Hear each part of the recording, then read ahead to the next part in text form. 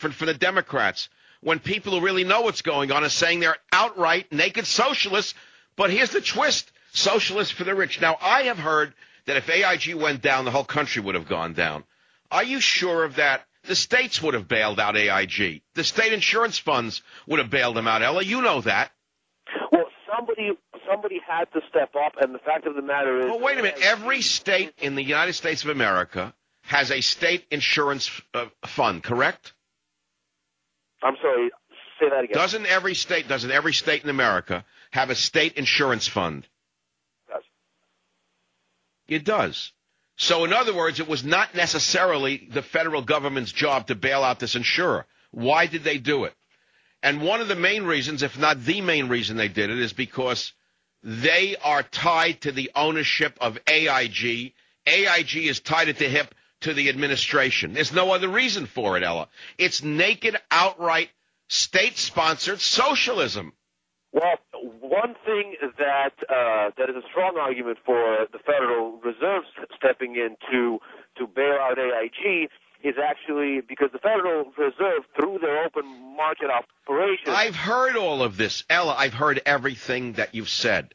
We've all heard they had to do it. I don't believe that, number one. And number two, the cost is a trillion dollars. Who's going to pay for it? Can you answer that? In the short term, it's probably going to be halfway financed by you and I, and halfway financed by the river. Well, we're not, wait a minute. What about the free market and free enterprise, which two weeks ago was being uh, uh, offered by John McCain and the Republicans as the the fundamental difference between them and Obama, who they call a socialist Marxist. Whatever happened to the rhetoric of two weeks ago? Uh, free market, free enterprise. This is not free enterprise, but most people don't even understand the basics of the difference between communism and capitalism.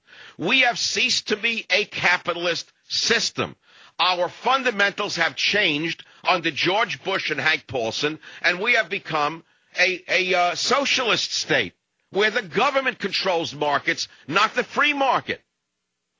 Now, if you, if, if you like the idea that the government is a socialist government and that it's fine that a Republican did it, well, I think the Republicans ought to just take off their uh, red, white, and blue flags and put a little red star on their caps and tell us we thought about it and we couldn't sustain a free market system anymore because we wrecked it, we robbed it blind, we don't know what to do with our G5s. There aren't enough hangars around the world. So we're now switching to a socialist system where we benefit and you can drop dead.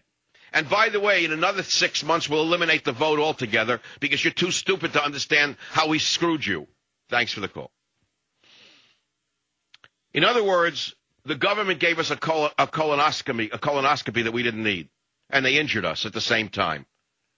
They gave us a good colonoscopy that we didn't need, not only did they give us a colonoscopy that we didn't need, but uh, Henry Paulson didn't inject water and air into the bowel to distend it in order to look in there. He injected sulfuric acid.